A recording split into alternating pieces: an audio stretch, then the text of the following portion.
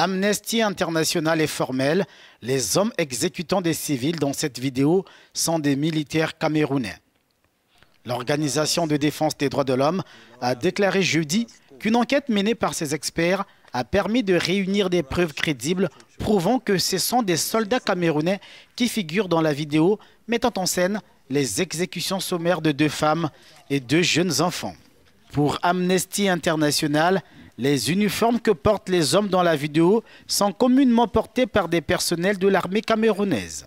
Mercredi, le ministre camerounais de la communication avait qualifié la vidéo de rible trucage.